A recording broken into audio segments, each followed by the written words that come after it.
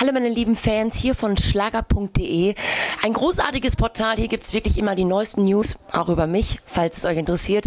Bald zum neuen Album natürlich auch hier wieder die brandneuen News. Und ähm, ja, schaltet einfach mal rein und dickes Bussi, eure Anna Maria.